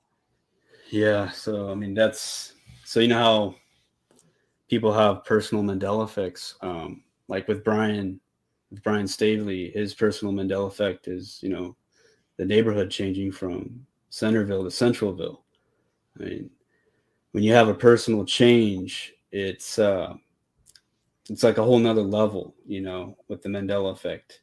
It's very personal. So with the Lion King, um, this we're talking about is the Lion King live action movie, and this movie for me, and there's some other people out there as well, but this movie for me, this movie came out in 2014, and it was the live action movie, CGI live action.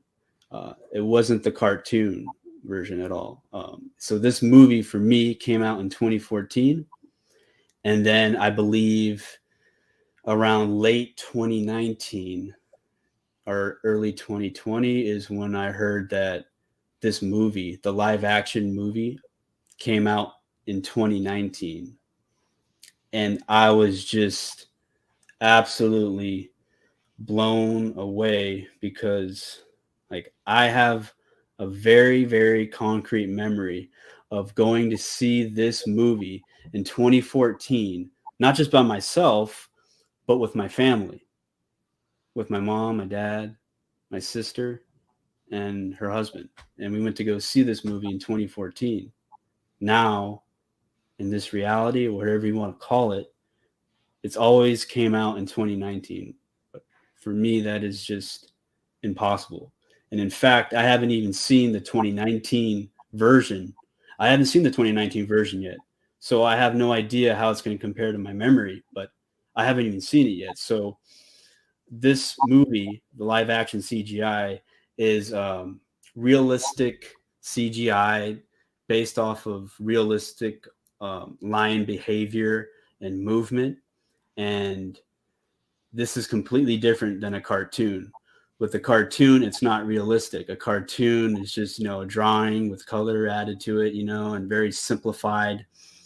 Like this is completely different. So I, I, am not mixing up any of the memories between the two. And in fact, many people like to say, well, in 2014, you know, is the 20th anniversary of The Lion King. You're just mixing it up with them re releasing the movie in theaters. But the problem with that theory is that if you look into it and you research it and you dig into it, there was no re release for the 20th anniversary of The Lion King 1994 in the movie theaters in 2014, which by itself is pretty crazy because why not? It's the 20th anniversary. Why wouldn't you have a re release of the 1994 in theaters? Why not?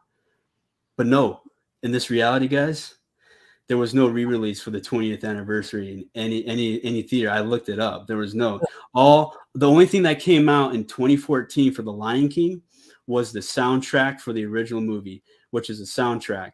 It, it wasn't the actual film or visual. It was just a soundtrack that came out in 2014 for The Lion King, and that was like on VH. It was uh, it was not VHS, but it was um for DVD and Blu-ray. So it was a soundtrack that was released for the original movie, the complete soundtrack, and you can look this up. It's completely crazy. So um, this for me is pretty big because you know it's not only me but my family that I remember going to go see it with, and um, I do have some residue to show um, for it. Actually, you know, there's people that remember it being 2014, and there's like a whole fan page that was created about this movie, this film for 2014. And it's even what's weird is there's even like a, a serial number, a movie serial number. So, like, you know how at the end of the movie, when the credits scroll and you get to the bottom, right? there's like a serial number and it's got that weird oval shaped globe type of like lines going through it, like a grid line. Um, and it's got the serial number on top, NO dot, and then the number, the serial number for the movie. So what the serial number for the movie is, you can enter that into the serial number movie database and you can figure out what movie that is. So that serial number is like an ID number that will show you what that movie is and when it came out. So what I did was I went to the serial database movie number um, website and I typed in different movies like the 1994 so I can see like okay it's bringing up the 1994 movie Lion King and then I uh, I brought up another one with like a different movie and it brought up that movie and when it released so the data the database was showing me correct you know stats and so what I did was I went to the uh, residual page for that fan casting page um, and I put in the serial number for the 2014 film The Lion King. I put that in the serial database number website to see what would pop up. But what popped up was a little so it took me down here down the page where there was like all these blank listings. It was like blank, blank, blank, blank, blank, blank. And it had the serial number right there. And it said like TBA. And TBA is an abbreviation abbreviation for to be announced. So it's like a movie that's going to be announced, yet it never existed. Yet there's a fan page that was created back in the day in 2014 where it's showing that it was a film released in theaters. And what's weird, it's even got like a copyright and all that. It's so weird. Um, what else is you know? I could show some residue if you want, Hieu, um, awesome. on my on the screen share. Let's see.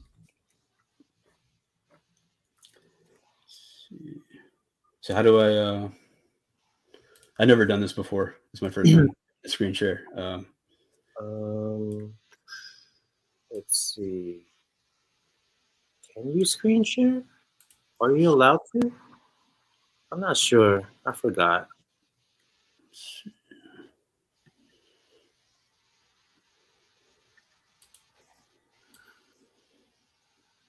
There's the invite button. No, not the invite. There's the present button. Do you have a present button? present. Oh yeah, I do right here. Yeah, is that the one? Yeah. Okay. Let me bring it up. That's wild that you saw the live version in on 2014, five years before it got released in 2019. I remember it got released in 2019, the live version. But you're saying you saw it five years prior? You, Yeah. sister, and her husband, correct? Yeah, five years. Yep. Oh man, I wish I could get this. Let's see. Oh, here it is. Uh, let's see. That's wild. That mean that that meant that you were in a, a different reality. Does it, doesn't that mean that, isn't that true? If that if that's true, that you you were in a different reality watching a movie that didn't exist for me in 2014. Mhm. So how do you explain that? Yeah, I- it's it's. I mean, I've been trying to wrap my head around it. You know, it's just like the Mandela effect. You know, like how do you how do you explain what's causing the Mandela effect? You know, it, it's like an endless. uh Man, it's like an endless uh quandary. You know, uh, let's see if I could. I want to pull up something, but it's not letting me. Let's see, present video file, share screen. Um, here we go. Okay. All right. Can you see my screen? Yeah. Okay. So we'll start with the first one, uh, just to kind of. So right now in this reality, the Lion King live action movie. So the so here's the weird part, right? So the first time when the plans were made to make this movie now is in September of 2016. Now I, I'd already seen the movie in 2014. All right, this movie, the first plans for it, um, the director Jon Favreau came out in September of 2016 that they were going to make a remake of The Lion King 1994, but it was going to be a live action CGI movie. But here's the crazy part. There's there's people on Quora.com that are asking this weird question. Okay, so here's what I found. This question is dated October 13th, 2015, well over a year prior to when the September 2016 announcement was made that they were going to make a remake of the 1994. So this question came out 2015. And so the question is this How did the Lion King animators study lions in order to draw realistic lions for the movie? Like, what? So it's like this question came out. This question was asked. Okay, get this, Hieu. This question was asked in 2015 of October. Plans for the movie to be remade now in this current timeline wasn't until a year after this question was made, in September of 2016. How is this person asking this question in 2015 about how they got the lines to be realistic saying- for the you're movie? saying- You're saying this is residue proof that it came out in 2014. Yes, this is a very, very, um, this is a very mental piece of residue that somebody asked a question. This is like a, uh, it's like a residue type of question. Because, because very- maybe they watched it in 2014, similar to you. Yeah, this person, yeah, they watched it. Maybe, maybe it was a different time. Don't know how the, the Mandela effect works, but this question doesn't make sense because now in this reality, plans for a movie didn't get to the public knowledge until September of 2016. So how can this person ask this question at all? This doesn't make any sense. And they're using the word the term realistic. So they're it's they're not referring to a cartoon version of the movie. They're referring to the realistic version of the movie, which now has always been 2019. What's up with lions and the Mandela effect? We got Yeah, the Lion, Lion King movie. We got Isaiah 11 6. Yeah, it's uh, the the lion. I think there's more to it. Kind of like with the whole, you know, color pattern going on. There's a lot of, you know, people out there like C3PO's Golden Calf uh, channel on YouTube. He's putting out good videos. There's a lot of messages, you know, and the lion. I think I think there's something more to this lion. Um, it could refer to the creator, like in the Bible, where it talks about how you know jesus is the lion of the tribe of judah and we're getting that as well and this could be pointing towards the lion pointing towards the creator so it's kind of like it's getting us to point towards the- the creator as opposed to the physical or the adversary the wolf so it's it's What's- showing us a way kind of What is your your anchor memory of watching it in 2014? Why why do you remember 20 it to be 2014? Uh, I, I don't I don't just I have like a I can literally go back in my mind and like I could I remember walking down the aisle of the movie theater to go get our seats. And we were and I remember where we were seating in the movie theater. We were sitting towards the front of the movie theater and we had to kind of like cock our heads back up to look at it. You know my neck kind of hurt from looking at it. So I, I had that anchor memory of me and my pain in my neck looking up, but also my visual anchor memory, me walking down the aisle with my family and going down to sit in the seats in the front row area. And you remember it being 2014 that you watched it with your family? What was that? You remember it being 2014 that you watched it with your family? Yeah, I went with my family in 2014 to go see the movie. Are you sure it wasn't 2019? No, no. Yeah, it was it was definitely 2014, maybe 20 early 2015 because the movie was still running in theaters in early 2015. So it could have been be a- around that area. It's got to be a mismemory, Jonathan. no, no way, dude. Yeah, no way, bro.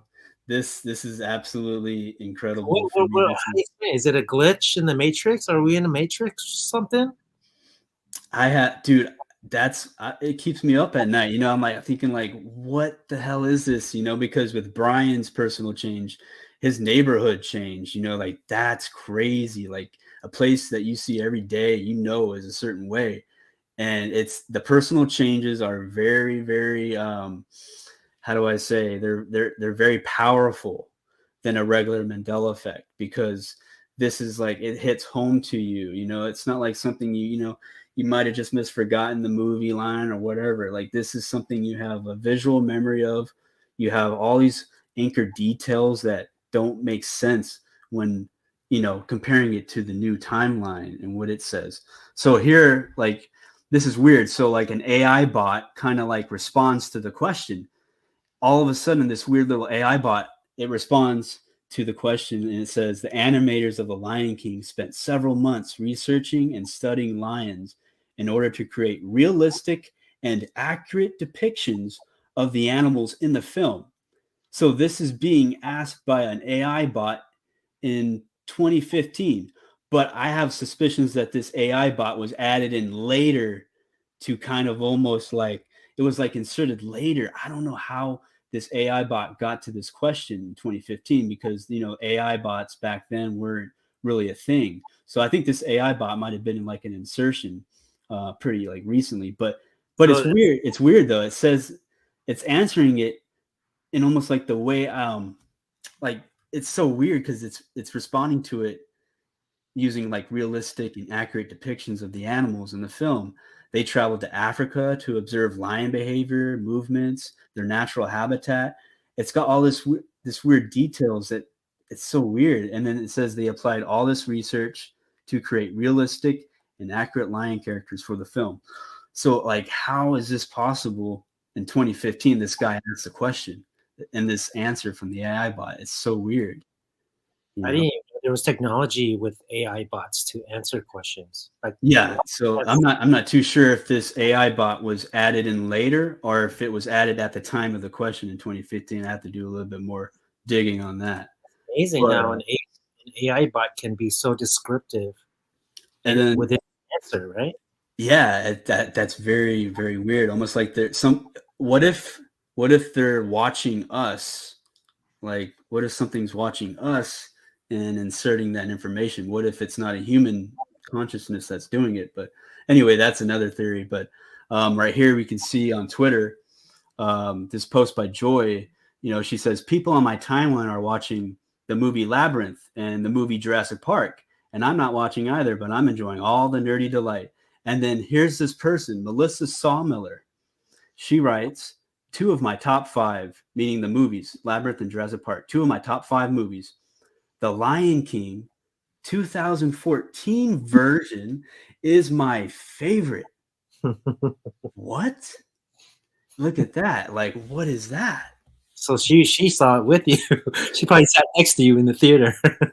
dude so i found this on twitter right i'm like wow what in the world so somebody else remembers it just like i do 2014 and you know this is something interesting again like with the residue if you if somebody puts it in parentheses or they put it in uh, quotation marks on both sides it remains the old way but once you take away the parentheses and the uh, quotation marks once you take away that layer it it becomes affected or it becomes susceptible to change by the update of, Mm. what, of what's changing and what's causing you know what's causing the Mandela effect. So I you know if this wasn't protected by these parentheses, maybe this would have said 2019 when really she she wrote 2014. But because it is in parentheses, it remains as residue of 2014. And you know a lot of people say, well, maybe she just mistyped the number. But if you look at your keyboard right now, the number four and the number nine on your keyboard are entirely different sides of the keyboard. They're on, you know, if you were to draw a line down the middle of the keyboard, four is way over here.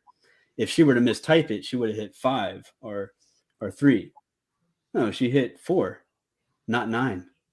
So she remembers 2014 for sure. So th- th- this is uh this is some interesting um, type of residue. Um, and then, of Mind- course- what was that?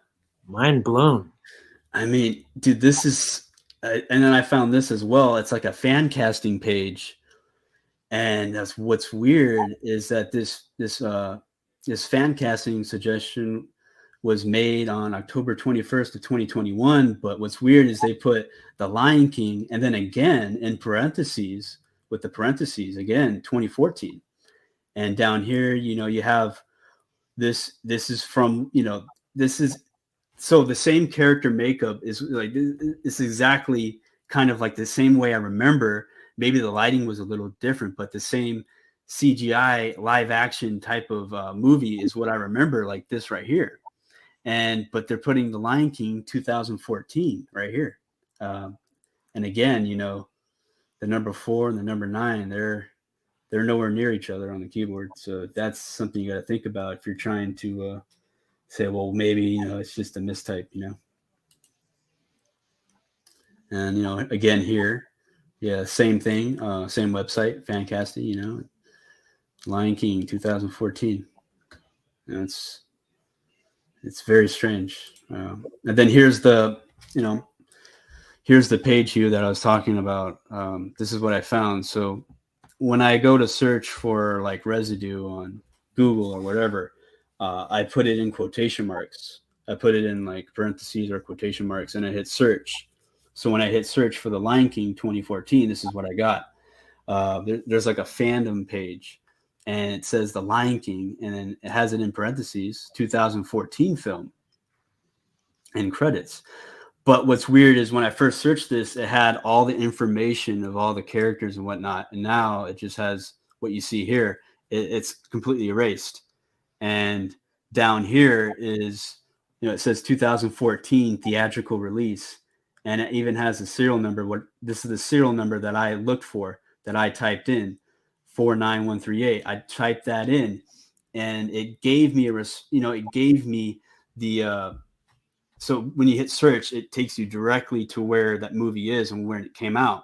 When I put that number in, number 49138, it gave me to be announced, TBA, to be announced. So it's like I couldn't uh, figure out what it was because the movie hasn't even come out yet. But it's like the 2014 version hasn't come out yet.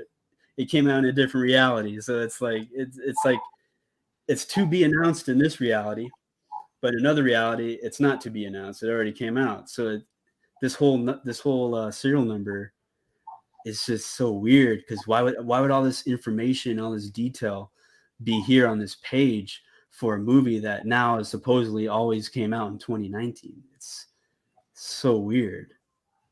So weird. So after all this digging, what is your conclusion? Um, so I don't know. I, it's just I'm trying to figure out like it's like are we living in like a type of like a type of dream, you know? Like uh is this like a dream, you know, where you go to bed, you wake up and it's a different timeline, you know, where it's like it's no longer 2014 now in this timeline, it's 2019 and it's like but then like then again you know i kind of go back to like what brian was saying like how do you explain the residue being here? Um it, it, it is here. The residue is here. It's just that now it's like it's always been a different date now that the movie's released. So i've been trying to figure out like could we be like a dream within a dream type of like a like where we're like the place where we live? Like is it like a dream reality? Are we in the mind of god? And God is kind of like shifting some things around in his in his mind and that's what's going on. Kind of like you know like in a computer where it shifts code around in order to organize it. Like are we in the mind of god? And this reality is his dream and like we're we're living in that dream and the dream is very malleable. You know that's you know like when you're like when you go to bed and you dream at night you can like go through walls or whatever you know you could float or feel like you're falling or you're flying. Um it, i don't know it, it, does have a lot of uh you know credible points to that theory you know that it's like a dream reality or mind of god kind of but then you know there's other people that will say you know it's like a simulation and we're just ones and zeros which i never really vibed with you know because uh, I don't think God is ones and zeros. You know, I, I don't think God is digital. I think God is spiritual and we're spirit beings. And if we're created in the image of God, then we'd be spirit as well. He's spirit, you know, he's a spirit being. We're we're spirit beings, and we can connect on that same wavelength. So I don't think it's a digital wavelength, you know, it's a spiritual wavelength. But uh, but yeah, just trying to figure out like this whole like what what's going on because I think that the personal changes, our personal change, you know, Mandela effects, it might help us get closer to try to figure out like what what this place is or what's causing the Mandela effect. even though we might not figure it out now or tonight or whatever, the personal change Mandela effects I think might help give us a little piece of the puzzle to kind of like give us like a nudge into a right direction, kind of, so to speak, you know? So we're either spiritual or digital, right? Is that what you're saying? You can't. We can't be both. You can't be spiritual and digital at the same time. Yeah, yeah. No, I don't. I don't. I mean, you could say that they both have like similar characteristics and attributes. You know, with the digital being, um, you know, you can't really touch a digital one or a digital zero. But we are we are electromagnetic beings. yeah, we are. Elect- yeah, exactly. So So that's, a, that's a nod for digital, right? Like uh, like a right, yeah. But I Um, also see electrical as spiritual as well too. So you could kind of make an argument the other way as well. But I don't think we're like in a computer, like some mad scientist computer where like we're created by, you know, a person that's uh, ones and zeros. I think that person who created us is like definitely beyond ones and zeros for sure. You know, beyond what you know what we think is so i i, I do think like since we're created in the image of the creator we have the same attributes as the creator um, when it comes to our makeup when it comes to the spiritual makeup of our of our being.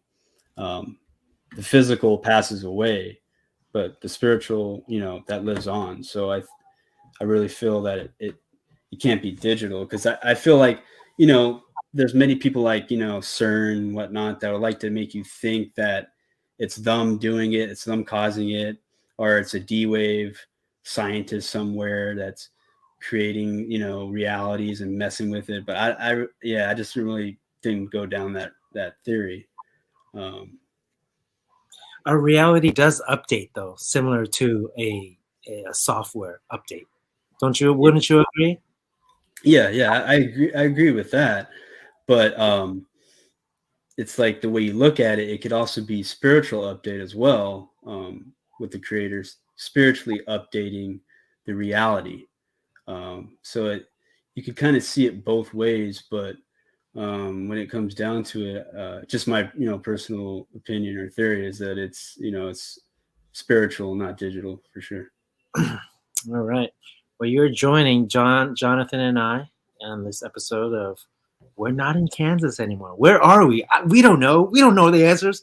If you clicked on this video thinking that we're going to tell you the answers, we just have speculations, guys. We have thoughts and uh, proof as well. You know, John just showed uh, much proof about the Lion King. That's wild. 2014 to now 2019, and you were there with your family. It's not like you went by yourself and you're like this delusional, like you know, you made it up. No, you went with your family, so they can attest to it as well. That's wild. Thank you for joining. We're gonna take another break, and uh, after the break, we'll just wrap up real quick. Uh, thanks everybody, and uh, we'll catch you after the break.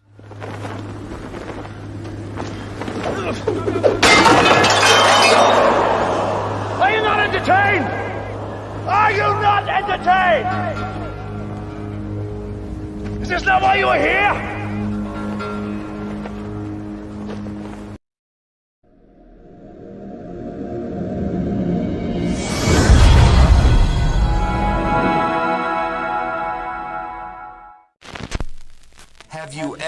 Ever away from Earth into the black void?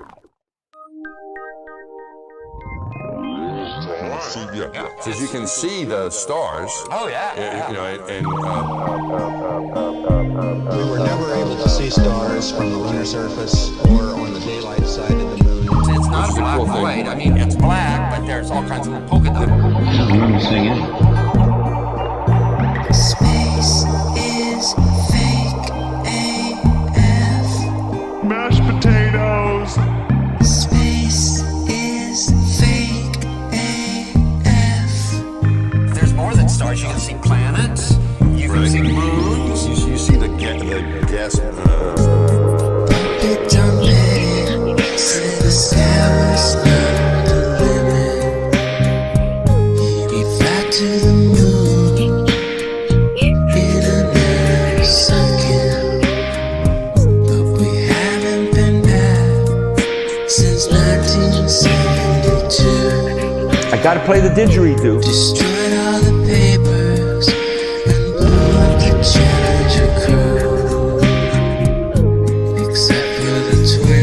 fake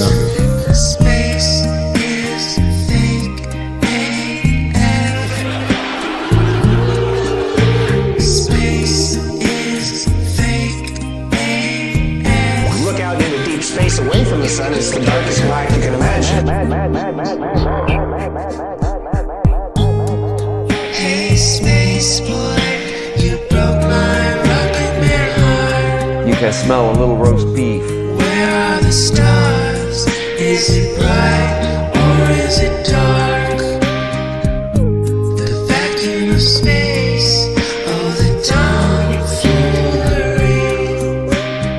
Sandy's hair is pretty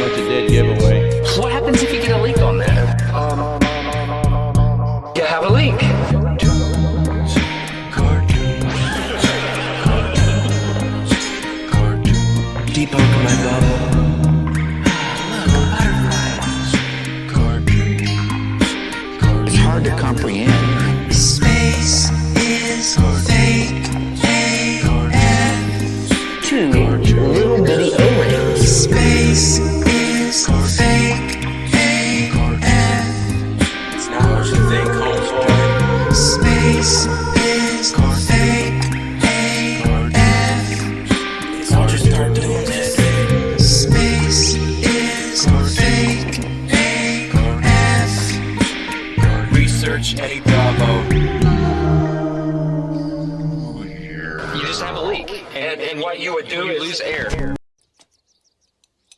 Back in 82, I used to be able to throw a pigskin a quarter mile. Are you serious? I'm dead serious. Watch this. Ah! Ah! What the heck are you doing? When Mandela affected, oh no, where did that go? Mandela affected, oh no. I said we going Mandela affected, oh no, where did that go? And we all infected, oh no. I said daydreamer dream. They said I'm just a daydreamer dreaming with my head always motherfucking in the ceiling. But it seems that the shoes got that Texans.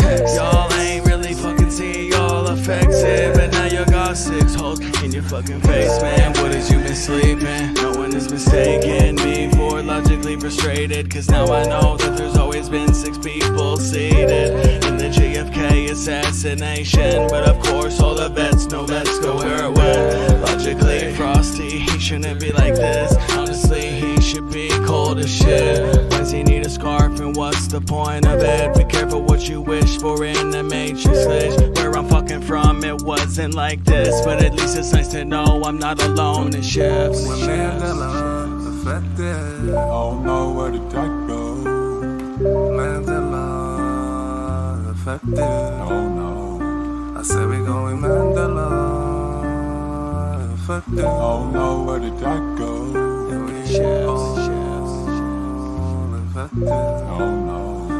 Daydream. shifty bastards, your wrists are tethered As your pulses under your thumb no longer centered You're shrinking back Not even talking that quick, it's just the time is moving faster. You're lost in the facts since reality's hackfish Like summoning demons with these dancing tactics Like Sam Psychiatric, blending some magics Losing your stars and stripes as the demons demanded. Running in circles, but to whose advantage? It's the signs from the creators while on Satan's sandwich. No longer get scared from Ricky Ricardo's laughter. In fact, I slap a bitch just to hear someone in the chatter Like someone in a bar quoting it like it matters Cause this isn't my home, it's a splendid disaster How the fuck could this be? Someone tell me, yo, can't say Mandela affected, oh no, where did that go? Mandela affected, oh no. I said we going Mandela affected, oh no, where did that go? And we all infected,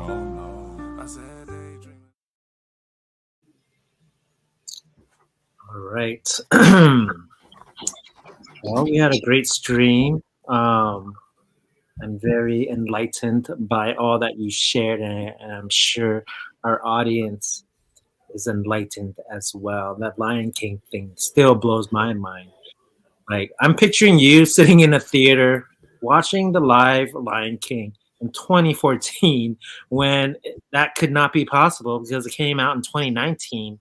So, did you just step into some warp zone during that moment and you just like traveled to this future theater in 2019, sitting in there watching it? I don't know. Dude, yeah, it's uh, man, I, but yeah, dude, it's like I have such a strong like that was my reality. It, it, it was my reality. Now it's completely different. Uh, did you ever go? Did you ever see the movie? Did you ever go Uh, see it? no, I didn't. I do remember it coming out, the, the live version coming out in 2019, though. Oh, So, never, did you I see it in memory- I also have a memory of the animated version being re-released. I don't know when, what year, but before the live version. Yeah, and you think they would do it perfectly on the 20th anniversary, right? Like 2014. But no, they they didn't. So weird. So, um, Jonathan, before we go, uh, what do you have um, in store? What are your future plans for your channel? Um, anybody out there, can you um, post up uh, the link to Bluepacman's channel? Um, yeah, well, what do you have uh, lined up? Uh, I just have a couple videos lined up. They're uh, Isaiah 11:6 videos, and uh, one of them kind of like talks about Jerusalem. So the next video probably uh, about Jerusalem and residue over there, uh, and then another video might be uh, another pastor video, or I might do a you know I might do another another video where it's kind of like talking about like a like a name change um, or video or whatever but uh, i like to do live streams with people so um, i like to uh, hop on you know so i'm going to start doing that more a little in the future you know start hopping on share ideas uh, meet other people online uh, that's pretty much it Cool. Definitely chime in into Jonathan's um, channel. He has great footage, um, especially scripture, because I mean the Mandela effect will be bold enough to hop into the scripture realm and change it. Not one, not two, not three, not four, but many, many verses in your Bible. Yeah, and I do cover other other uh, topics. You know, I cover other changes like uh, like the one I just did recently. I'm not sure if you've seen it, but it's the Hello Clarice one, um, where basically you have the film editor, you have the actor, and then you also have this animatronic that was made like in 2008, where they all have residue for it being Hello Clarice from the movie Silence of the Lambs, 1991 you know it's it's and it's really really strange because you have the film editor who sat there at his Steenbeck machine editing the movie the, the movie that was going to be released to theaters. He's editing the movie and the first footage that was shot from the movie came rolling through the machine and it's um, Anthony Hopkins standing there and he's saying hello Clarice and so I have that in the video where the film editor twice remembers it as hello Clarice. But when you watch the movie, he doesn't say it at all. He doesn't, you know, there's no hello Clarice now in the movie. He just says good morning, which is, you know, very strange. And many people remember his back being turned, but now he's standing right in front and he's saying just good morning, which is totally, not that scary at all. Scary at all. Like, good morning. It's like, hey, how's it going? Good morning. How did you sleep? It's not hello, Clarice. Yeah, and you have so you have the film editor that remembers it. You have the actor himself twice remembers it being Hello Clarice, and then there's this very detailed, very well constructed animatronic that came out in 2008, which has a tag on it that says "Silence of the Lambs," so specifically referencing the original movie uh, from 1991. And so in in the animatronic, they put "Hello Clarice," and all the other quotes inside the animatronic are from the movie, which you can verify. But that one that one quote in the animatronic doesn't exist now in the movie at all. So it's very very strange, and the residue is very very uh, profound for that one as well.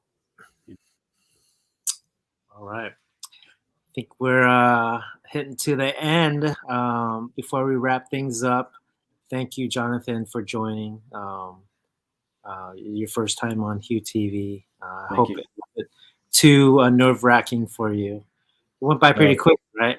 Yeah, no, that's good. I mean, I, yeah, I, I feel like I go a little longer, but yeah, this this was really good. You know, we shot a lot of theories. You know, we could be here a long time going with uh, going through the list of theories. We could be here forever, but it's good just to kind of like you know shoot some theories, you know, off the hip, you know, and just see kind of like where we're at. Um, you know, sharing our ideas, you know, and it really helps us, you know, help each other, you know, figuring out what this place could be, one step closer, you know. And you know what? We're not in Kansas anymore. No, we're not. We've traveled somewhere, somewhere, and you know what? We're constantly traveling. Don't you agree? Where things are constantly changing, Yeah, we're You know- constantly flowing. constantly. So try not to uh, get worried. Uh, just go with it, accept it, and have fun. Enjoy it. Yeah, Don't we got. Yeah, that's another thing. You know, like man, we do a lot of you know research into the truth, whatever it is, and like Mandela effect or flat Earth or 9/11 or whatever. But it's good just to kind of like take time to kind of have some balance in your life and just go out, go for a hike, maybe go for like a little nature walk, and just kind of like you know get back to that recovering energy you know get back to that like healing energy where it's just like you're emptying you're emptying your mind you're emptying your thoughts and you're just kind of like getting that balance you know That's right. Get out there, guys. Do new things. Get out in nature and uh, unplug, uh, unwind, get disconnected. Please. I know the truth. We we we get it online on YouTube constantly. There's always another video, another live stream to watch. But you know what? There's a point in time where it just does not become healthy. You got to disconnect and just get outside. Talk to another human being in person. Get that energy from them.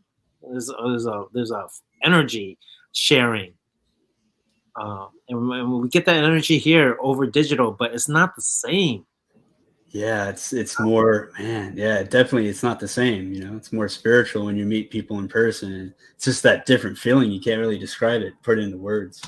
It's uh it's healing. It's very healing Yeah, and maybe this is a, a great time for you to uh, to mend relationships that were broken, maybe during the days of COVID. Uh, people are more open minded. People aren't wearing the mask as much as before, so you we can have that face to face interaction. definitely Um, please do that. So uh, thank you, Jonathan, um, for joining on this episode of HieuTV. We're not in Kansas anymore. We're still figuring it out.